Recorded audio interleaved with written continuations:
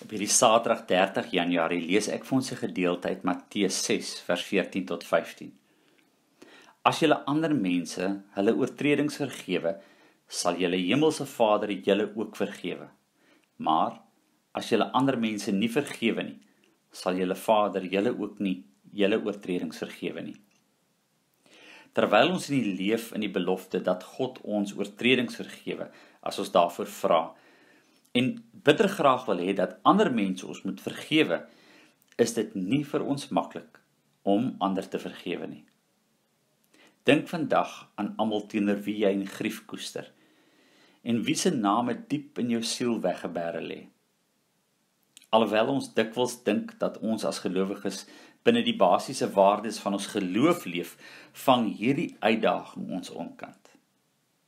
Vra daarom vandag van die Here om jou te help om die leers van jou siel te deursoek en hulle te kan vind en te vergewe wat teenoor jou oortree het.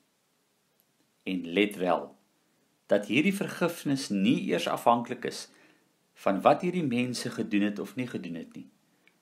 Die grond van ons eie vergifnis is nie die beoordeling van 'n meriete van 'n saak nie, maar alleen God se genade wat in jou leef.